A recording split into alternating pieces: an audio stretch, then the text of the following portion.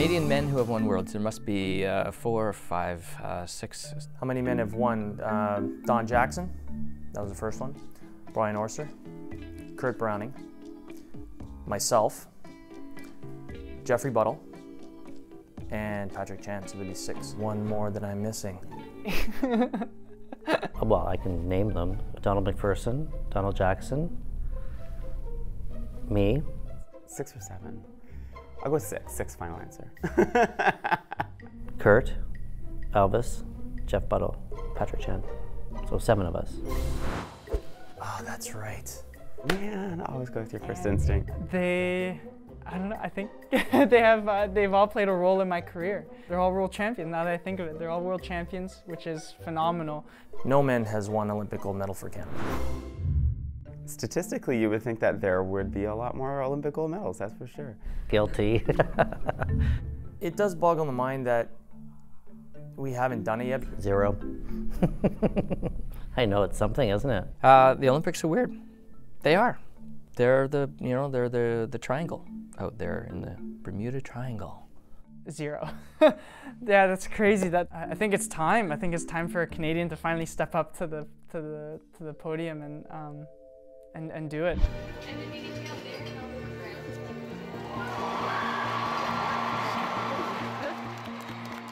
Time to step up. For Patrick Chan, that moment has arrived. It's been a long time coming. I accomplished a lot of goals. As he collected three world championships and a load of other figure skating titles, too. But the pressure, the spotlight, has been intensifying as well. If he's feeling the heat, he's not showing it. I'm very confident, very positive. There's really only one ending to this script that will satisfy Chan. And for me, Olympic silver, Olympic bronze isn't really going to do it because honestly, I've won three world championships. I've been at the top. I've been getting used to being chased. So I just wanted to continue that. So yeah, I, I, I don't feel comfortable with not, not winning. the thing is, Canada has seen this movie before. The hype, the expectations, then the burden of falling just short. Oh my gosh. Um, Brian Orser. Brian Orser, Battle of the Brians. That's the first thing that comes to my mind. Yeah, 1988. I was born in 1990. Brian Orser carrying Canada's flag. He's our champion. He's our favorite for an Olympic gold medal. Well, if you are old enough to remember 1988, it was Canada's first Winter Home Games. And who better to carry the flag? Brian Orser. He already had an Olympic silver medal from Sarajevo. This time, carrying the hopes of a nation for gold.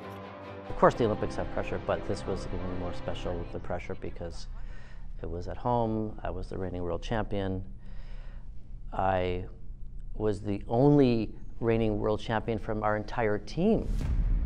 I look back at that time and it's all like an out, out of body experience. When I see this very young, thin guy skater in a red costume, and I look back and I go, like, who is that, and how did he, that person manage that that pressure? The Battle of the Brians lived up to its billing, an epic duel that came down to the last moments of competition. Very famous jump that he does, a triple out with hand extended. First, the American, Brian Boitano.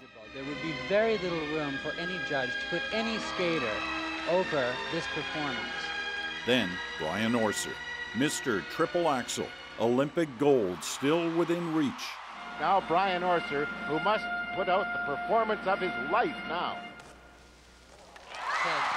I'd done the program so many times in practice, and all that was left was just to try to create that magic that happens. And for a moment, he thought he had it, but. This was the first mistake, a very costly mistake. I made one little small error, and there was no room for error. And I think then, with that type of judging system, the Olympic champion does not make a single mistake. And I did make a small mistake, and so I kind of like did this. it was like a relief, and I was kind of hoping and praying that it was enough. It was not. By a razor thin margin, Boitano won gold, Olympic gold. And so I did the what if thing for a long time, and it kind of made me crazy. And so I got to the realization that it is what it is, And it took me 10 years before I could watch a videotape of my free program because it was very painful and it was um, disappointing, and I felt like I had let a lot of people down, including myself, my family, my town, my country. And, and then I then it took me some time and just maturity, I guess, to realize that it was good. It was okay. And I did my best. Kurt Browning is one of my best friends in the skating world. Uh, if Kurt had had the tools that I think I have now today, as um, as as fit as I am off the ice as well as on the ice, he he would have most likely won an Olympic gold medal. Kurt Browning, first man to do four revolutions, the quad in competition. That was the quad. And holder of four world titles. By so many accounts, incomparable on the ice. And yet, in three Olympics, not in Calgary, not in Albertville, not in Lillehammer, not a single medal. 1992 was it. That was when I was going to win. Uh, 1992, uh, I was the right age, had it going on, um, and, uh, and then the injuries came. And uh, six weeks before those Olympics, I couldn't push the clutch down on my truck with my left leg, let alone jump for a triple axel. And in Albertville, I think I was in a daze. I was in a, a tortured daze of I'm not ready for this. I know I'm not ready for this. My back wouldn't let me prepare. My practices haven't been good, and I'm hoping for a Hail Mary miracle here. A miracle was not to be. Uh, I wanted it, but but I knew the, that realistically in 1992 that it probably wasn't going to happen. So it was a real mixed bag of emotions. My family was a mess. Uh, I was obviously a mess, and we were we were scared. We were being put up against the wall in front of the world, and uh, we didn't have anything to fight with. So it, it wasn't fun. Didn't like it. Didn't enjoy it. A couple of years later, another go. In Lillehammer, before the short program, I in the five minute warm up, I took a crazy fall that I never take. And I, you know, was just trying to shake that off and wrap my head around it, and I didn't quite do that. Connecting steps into the triple flip. He's had some problems with this. By then, expectations were so great that in those moments of realization that Olympic disaster had struck again, He didn't need that. Wow. only a national apology seemed to suffice. I know a lot of people are sad in Canada, and uh, sorry, but uh, Oh, the I'm sorry line, the famous, the famous I'm sorry. I'm gonna come home and have a party. I mean, people uh, so many times have said you shouldn't have said that, or you didn't need to say that, or we didn't need to hear that. Uh, like, well, it's not like I sat up all night and thought if I skate bad, this is what I'm going to say. I mean, it just kind of flowed out, and it was because I was. I was dreadfully sorry.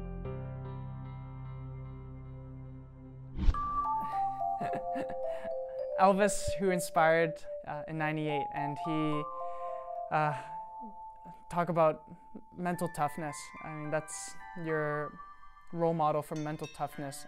I remember watching it on TV, and it was shocking because uh, he could have pulled out. You know, he could have just given up. Elvis Stojko. Through four Olympics, he impressed the fans, if not always the judges. Still, in Lillehammer, he captured a silver.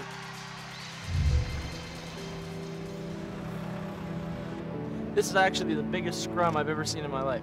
And going into Nagano, remembered as the heavy favorite for gold. And I'll be honest, in 98, it was very, very difficult for me to stay focused on that track uh, because everywhere I turned was go for the gold, win the gold, he's going for the gold. He's trying to become the first male skater to win Olympic gold for Canada. There was massive expectations for me because everyone was saying it's now or never and do or die. Defending world champion, he never ceases to amaze. Not so well known, what Nagano ended up costing him. And this is Elvis Stojko's skate for Olympic gold. The pressure, a lingering groin injury, He opens with a triple Lutz. a bout with the flu. Even today, Stojko's not sure how he endured. out of my whole career, it was the only time where I was actually scared because I had no idea what was going to happen. And uh, I had worked so hard up to that point, and my heart was like, I'm not giving up. I don't care. How, if I'm scared, I don't care. Um, the pressure, I am going to go through this. Through the short program, then the long, his famous quad sacrificed, and so much more. Quad toe. What do we say? It's not there, and I don't know if he's got position in this program to attempt it again. I was I closed my eyes and I took a breath and I was like, I can still believe, I can still do this. Even though I knew I hadn't done the quad, my body wasn't able to, didn't have enough power in my leg to create four revolutions, but I knew that I could still trust the training to complete a program that was, was clean without major error. There was a moment in the long program I was going into the second triple axel and I, I almost skated to the referee, I almost stopped and went to the referee, I can't continue. And I remember that moment very clearly because I said, You've got three jumps left. If you fall, I, I probably if I fell, I probably wouldn't have been able to get up. So I was like, just stay on your feet and just trust trust your body because it's trained. And at that point, I just pushed through. He's thinking every step of the way. He's fighting every step of the way.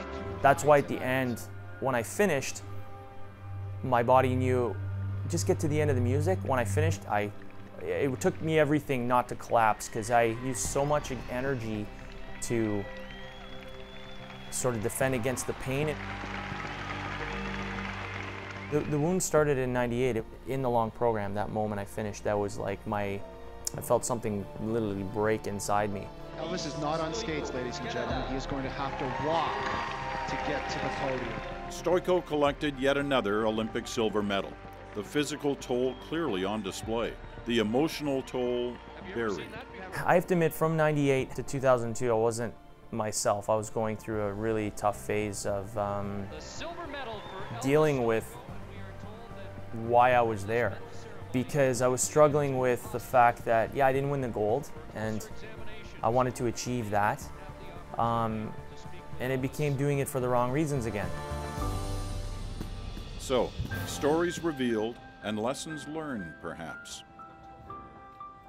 When we come back, what's the advice for Patrick Chan?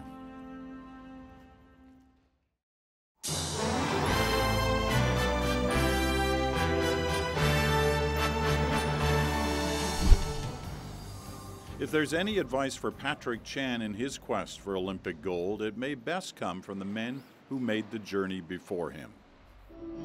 Those super achievers on the world stage, yet all fighting some sort of demon in the Olympic moment. Even Chan's choreographer has a world title. But from the Olympics, Jeffrey Buttle has a bronze. The gold would have been surreal. That would have been amazing. But, but for me, it was more about finishing on the podium. Buttle believes there's something special fueling Chan, something rare, elusive, something Buttle admits he himself did not have. That's great. Absolutely. I mean, he, he's a competitor, and there's that hunger. He obviously wants that gold medal, and yeah. um, I think the hunger is important. The hunger is what oh, carries you through the entire season of training, uh, and I think I think every time he steps out on the ice is is sort of helping the process for once he gets there, because that's really what it's all about: is whether he can handle that kind of pressure on the ice. And open, open there. Brian Orser has to be careful about any words of wisdom he shares with Chan. Yeah, I'm, I'm, I'm between a rock and a hard place because I'm doing my job. My job is now I'm a, I'm a coach and I'm a, I'm a high level coach. Coach not just to one, but two of Chan's strongest challengers for Olympic gold a Japanese champion and a Spanish champion. I'm going to sort of remain quite neutral on this. Of course, I want whoever wins, I want it to be the performance of the night. I want it to be the magical moment. Magic. That's the key, says Orser. That intangible ingredient that ends up separating the skater who shows up from the skater who shows up and wins. He says it happened with Boitano in 1988, and it will happen in Sochi too. Can Patrick do it? Yes. Can Javier Fernandez do it? Yes. Can Yuzuru Hanyu do it? Yes. And it comes down to those few days at the games that, um, that you can stay strong, you can stay focused, and you can just take that whole Olympic thing and just make it work for you. It's amazing the power of the Olympics that it can just lift you and carry you. And you can't teach that. You have to let them experience that. And then you can allow the magic to happen. Within the world of figure skating, nothing exists like this. This is special. In many ways, Kurt Browning has found the greatest post Olympic success. His star on the Walk of Fame, a testament to his one time domination of figure skating, and so much more. As showman, choreographer, analyst. Today, Browning enjoys genuine celebrity status, and yet, with no Olympic medal, none of any color, you might wonder. My career? My career was, and I can say that because I'm near the end, was long and fun and full of support and love. Nah, nothing's missing. Um, nothing at all. I, I got to skate in front of the world and do what I did as a kid for fun, as an adult for a living. Nothing's missing. So, in Browning's assessment, what should Chan do that he didn't, couldn't on the Olympic stage? The pressure of the Olympics is there for everybody. I mean, it's there for everybody. So, um, you know, talking about the pressure is a moot point for me. Uh, you know, and it's how you bring your bag of laundry to the rink. It's how you stuff your worries into your luggage and pack it on the plane and go to Sochi. And that's that's where the individual thing. If Patrick comes to me and just says something simple like, "I'm not feeling it, man," um, first I'd make him laugh somehow, and uh, and that's not hard for me to do with Patrick. And then I would just say, probably, dude, do you like skating? Do you like people watching you skate? Then that's all you have to do today. Elvis Stojko's advice for Chan comes after years of his own soul searching. As he practices for an upcoming show, Stojko knows figure skating has allowed him to make a good living. But it took time and a move to Mexico to help heal his Olympic wounds. A shift in focus to other passions, other creative and physical outlets to help him turn a corner emotionally. Found a place that I needed to get away to be just me, away from skating, and just start from the core. I, I'm not a skater, I'm just a person, and I had to rebuild everything from that point. Um, yeah, I still skated, I still did shows, I still did other things, I tried other things, and that for me opened up another world of understanding about life. Uh, because when you leave skating, most skaters always say that. You end leaving skating, you realize skating is this big, it's tiny compared to the rest of the world. But when you're in it, you think it's the only thing. It's not a matter of forgetting the past. In fact, Stojko says he knows exactly what Chan is going through. Do I focus on the gold strictly? Do I focus on my skate? How do I balance that? Um, it, it's it's a very fine line, and he has to find that place, that balance for his his mind to settle in. He, I'm sure every night before he goes to bed, he's thinking about it. He's thinking about what his body feels like in training, how he feels. He says he told Chan very directly be prepared for Sochi, but not over prepared. Trust yourself. I remember talking with him, and uh, I, told, I, I just was honest. I said, You're an easy target to compete against. And he's like, What? I said, you, you go out in, in, during the competition week, and I know how you train. I said, you try to win every friggin' practice. And I said, doesn't matter what you do in practice. You can skate crappy all week. All that matters when that music goes on and it's ready to compete, you do your stuff. That's all that matters. True confidence knows, I can do this. I can do this and I will do it.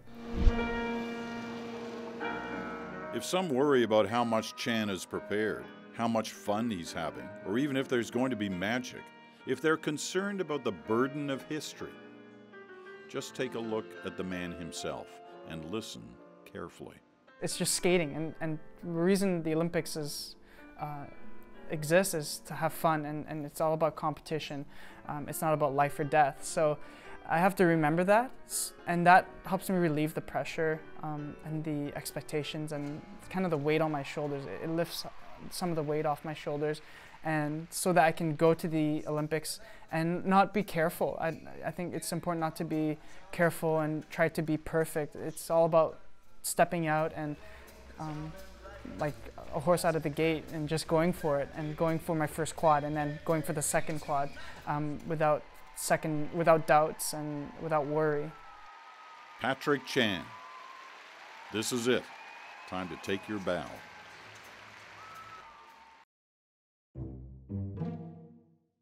Prediction? to, to make a prediction, everybody wants to know. I mean, Patrick, yeah, he has absolutely got a, a great shot at winning. Uh, prediction in my event, the men's event? Yeah, I just don't want to be the bad guy, okay? I want the best person, the best guy to win. It's funny, the Olympics bring out all your demons, and that's why you got to make sure you conquer those little buggers before you show up. I believe it's not that if he does it, I believe it's how he does it. I think um, if Patrick's having fun, he won't even notice the pressure. He'll just show off and probably win. He really is the one to beat at the Olympics this year. Patrick is actually in a very good place before the Olympics, and I'm proud of the journey that he's taken to get there. I want it to be a great moment in skating. If it's Patrick or anybody else, I just want it to be a great moment in skating that's going to be the best part. That's going to be the cherry on top, being, bringing a gold medal hopefully to Canada. Uh, that's never been brought uh, to Canada.